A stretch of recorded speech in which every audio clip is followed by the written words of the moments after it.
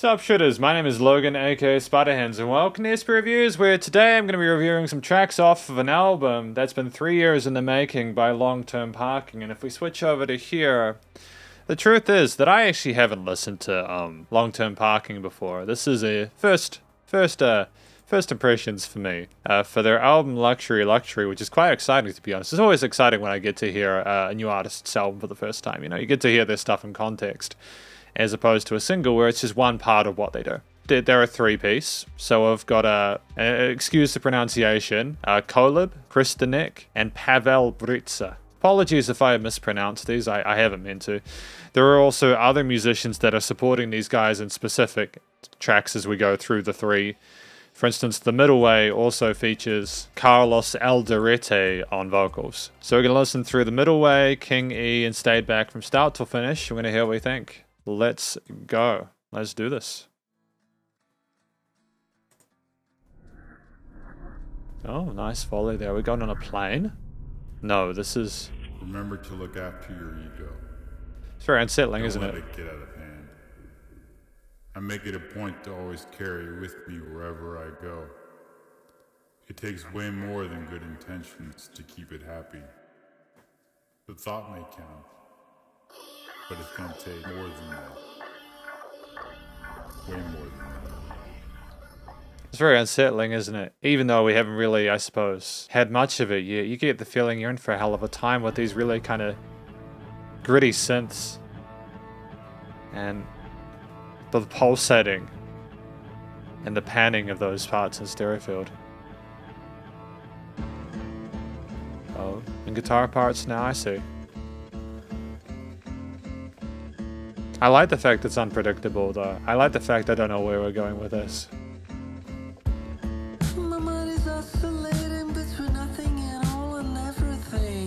Okay. mind is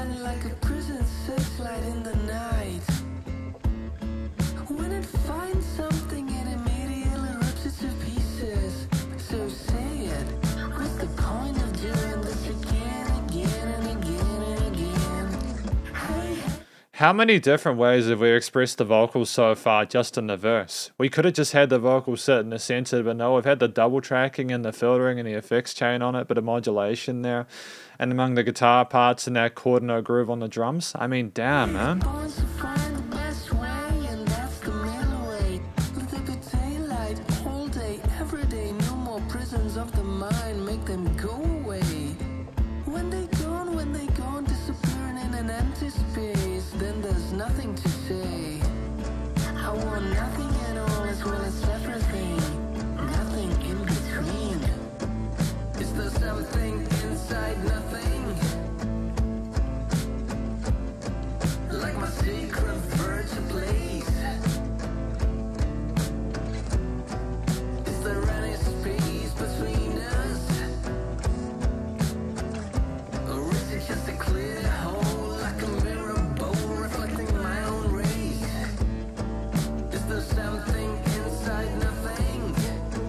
Is there something inside nothing? Instantly, it has given me an existential crisis.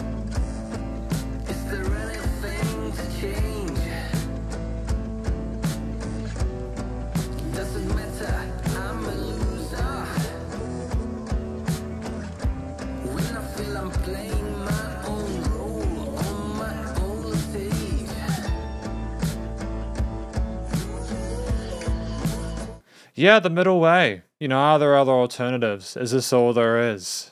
Is this what we're stuck with? Is this what we're left with? It's a good thing to talk about. It's it's not super happy and uplifting and it doesn't make you want to go out and, and have a great day after hearing it, but at the same time I don't think music's meant to always be that.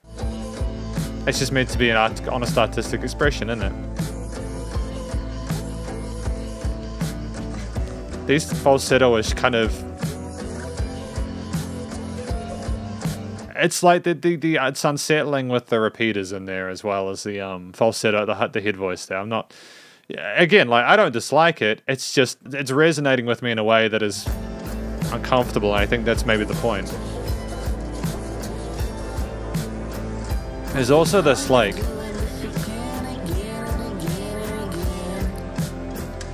this hiss or this hum among the piano parts. Like an LP, like a vinyl kind of sound to it, you know? And then we just had that drum fill come in. You really don't need more than this on the percussion, do you?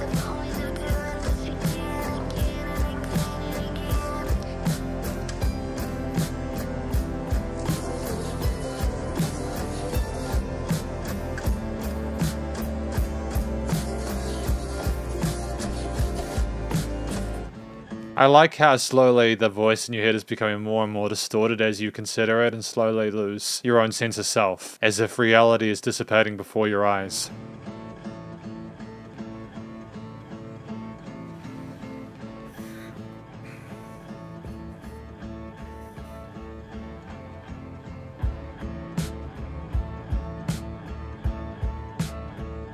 You got that oscillation on the eighth note groove with those synthy bits but the very vague sub-levels in those vocal backings. Now is it worth doing it again and again and again and again? hits like a train, dude. It hits like a train. You know, I'm to say it now, I haven't really heard anything like this before. And that's something after reviewing literally over a thousand songs. That it, that doesn't happen often. It doesn't happen often. And um, I'm, I'm grateful for that.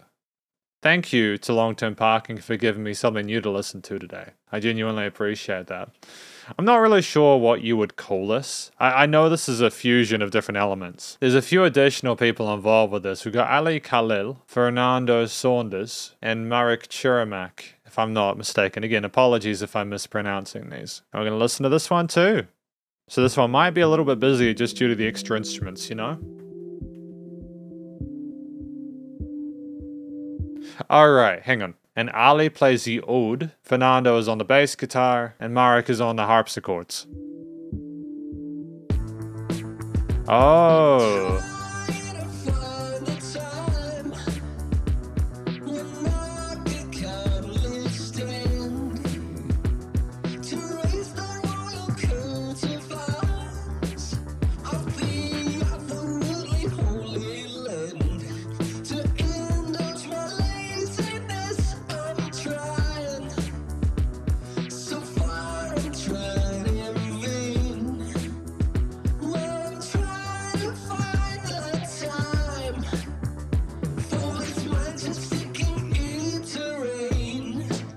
For his majesty King Ida Rain. So we've got a far... Would I say this is more energetic? I suppose it's technically more energetic due to the increased speed and tempo and everything like that. You got almost a 16th note groove on some of those synthy bits, the sequences going on the sides.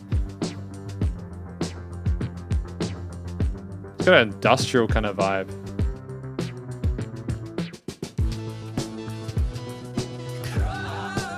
Those FM synths are um,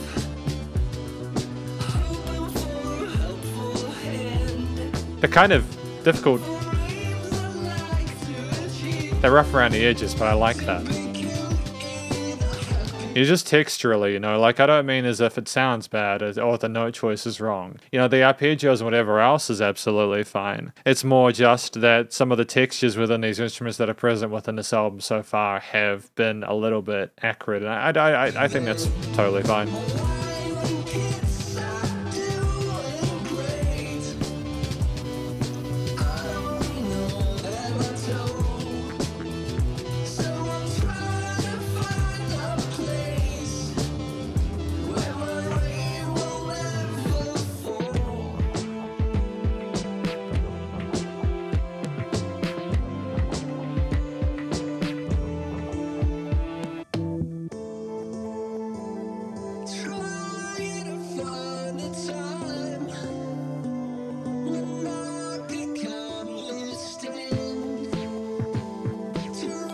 Great filtering work.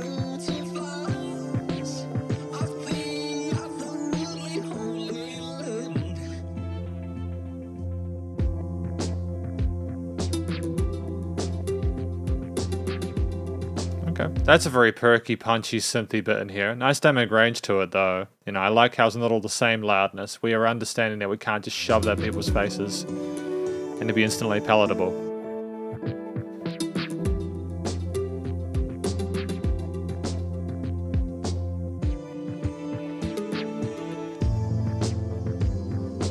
Are we switching up the time signatures here? Are we cutting some bars down to sort of mix with the mix with the flow of it? Does this count as a solo section? I suppose it would, wouldn't it? I suppose this would count as a solo section. It's a nice alternative voice, this voicing we have with the singer. Again, having those other synth pan on the side gives that center element a lot more space, and that's what you need to be doing.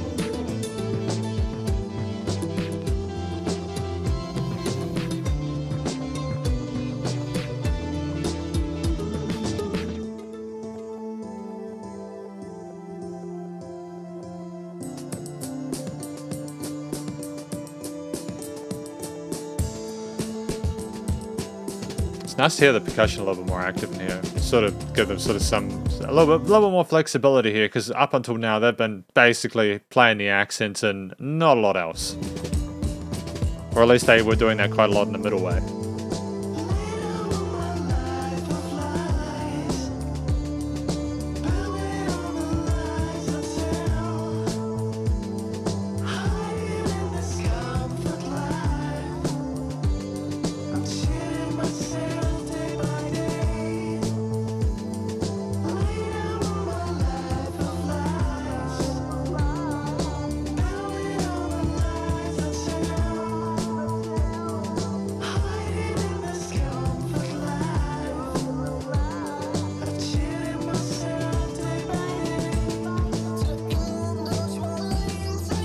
The uh, vocal modulation here because I should note as well. I haven't really talked about the core members and what they do. Pavel typically does the drums in each of these songs. Kolib messes around with like the synths, the samples, and that sort of vibe. And a lot of the time, Kristanek goes between like the vocals and sometimes does bass guitar duties and stuff like that. So that that the three the core three members are fairly flexible in what they do. I think that what they're you know, long term parking are assuming is that you've already got the gist of the story by the time you're at that four minute mark. So that's why they're tending to sort of mutate the vocals a little bit just to get this higher, kind of more robotic synthy texture to it. Just because at that point it becomes more of an extra melodic layer in the mix rather than an indicator of what you need to believe next.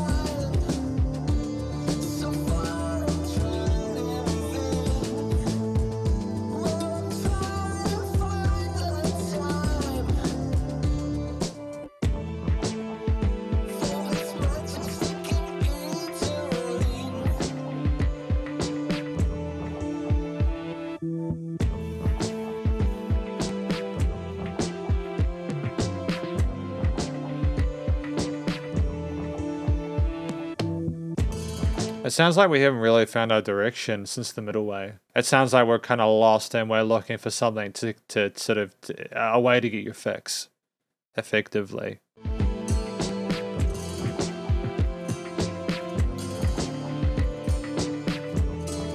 And the constantly descending chord progression here is an example of getting a little bit of a high and then spending the rest of the time going down.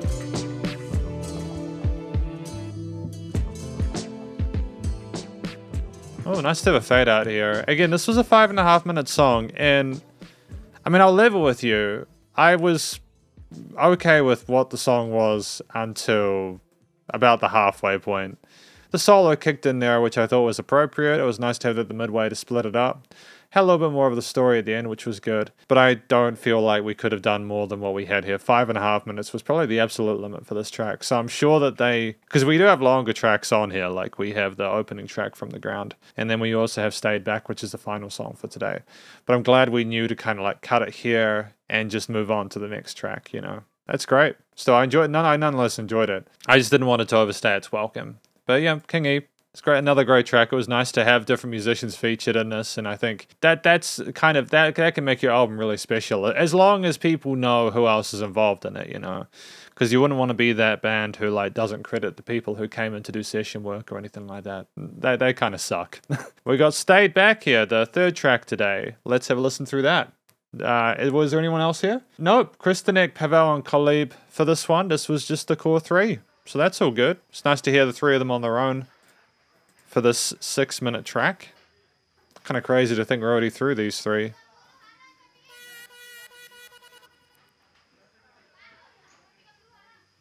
Nice to have the foley of the people speaking. Um, not, not sure what they're speaking. I'm not sure of the language.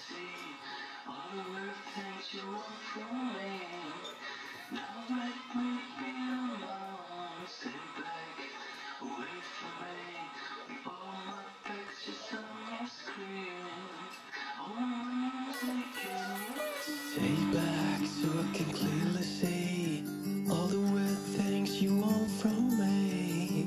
Now let me be on my own. Stay back, away from me, with all my Okay, so we're looping this three bar package, so just six bar passage. All my music in your phone.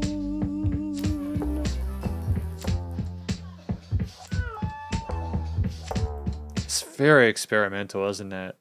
It's it's it's incredible to be honest. I mean, I would have never have thought to put that there. And a lot of musicians I review don't think to do stuff like this, but it can work. It's good to think outside the box.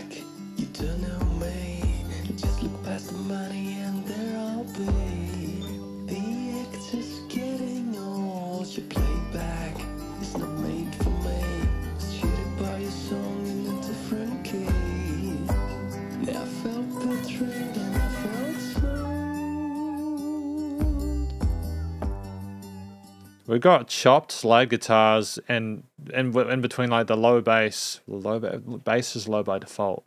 The bass and drums to contrast with these really pretty vocal led acoustic guitar fingerstyle sessions. I mean, I think that guitar's been deliberately EQ'd so it's got like cut at like 250 hertz. You It's really bright. Enemy, like you're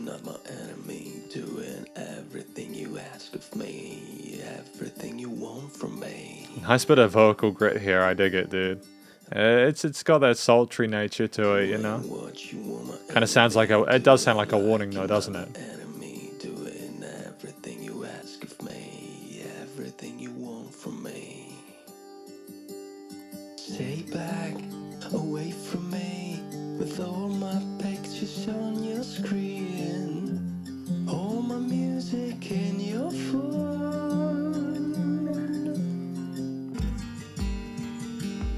Oh, a minor twist, A minor turn with his fingerstyle.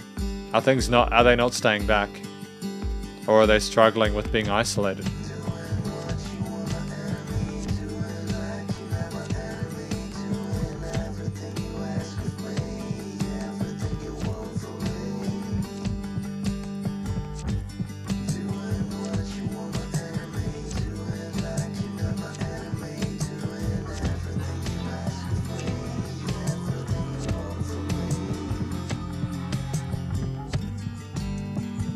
Again, having that uh, quarter note groove on the drums or the eighth note groove on the drums alongside the polymeter vocal stuff is great. Not necessarily polymeter actually, I think it's just the phrasing if it was three bars to four.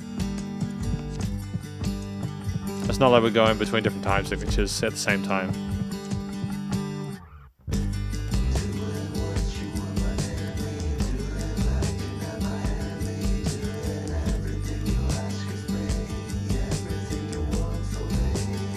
Oh no, we're going for that 4 4. We're going 4 bars for each. I get it. Doing a little bit progressive, isn't it? Got that southern drawl to it.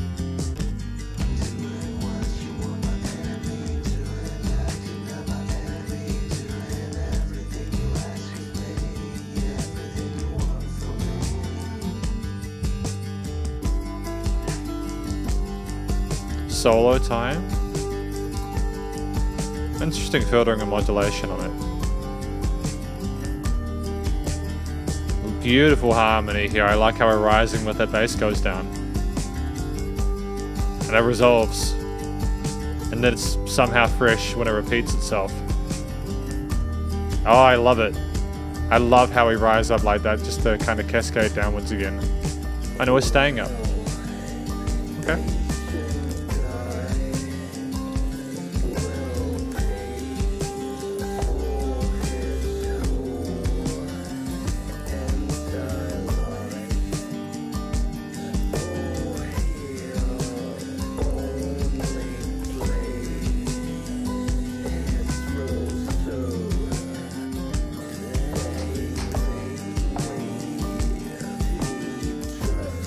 Bass solo at the bottom.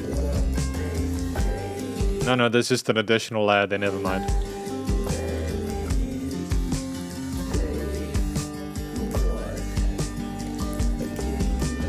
That kick thumps. Nice side chaining there. that could be the benefit of the simplicity of a drum line is that when you when when it's when it's there, you, you definitely pay attention to it.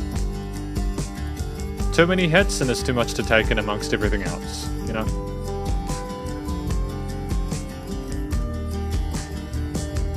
Probably my favorite. It's probably my favorite of three. King E was great, but it took me a while to really understand what was going on, and it was potentially a little bit too dissonant for my tastes. Doesn't mean it's a bad track though. Music's subjective.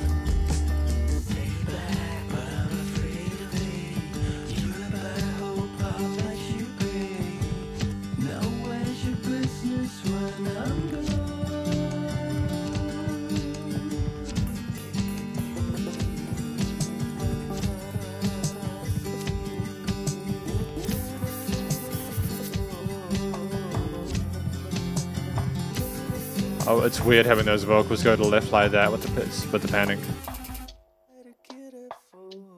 Oh, I don't know how I feel. Wait, I want to hear that again.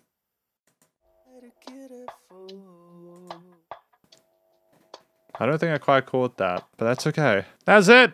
That's the review. That's a review of Luxury Luxury by Long Term Parking. Three of the tracks off of it. The Middle Way, uh, King E, and Stayed Back. Because this is the conclusion of my review of Long Term Parking's Luxury Luxury with these three tracks. Um, they've got a fair bit of attention, you know. You know, 40,000 players across the three is nothing to laugh at. You know, it's nothing to giggle at. That's actually good. I'm glad that they're getting attention because I've written some great tunes. Um, you know, the stories of these three tracks, the middle way is someone figuring out whether their path is the only one or whether they should have taken another and wondering whether to continue or not. King E, I think, is about someone struggling to get by without the hope of King E taking reign, or maybe it's someone that is dominating them and they are unable to get away with that and they're just having a really bad time, you know, and they, they, they, need, they need that release. And then Stayed Back is about someone, I think, wanting to have a bit of space, a bit of time when people have got power over them and just needing to feel independent and strong on their own and, and, and trying to deal with that difference and leverage there between the two. Maybe it's a group of people or maybe it's one person, I'm not sure, but three very distinct tracks that uh, I didn't always enjoy it primarily because the music didn't make me necessarily feel good.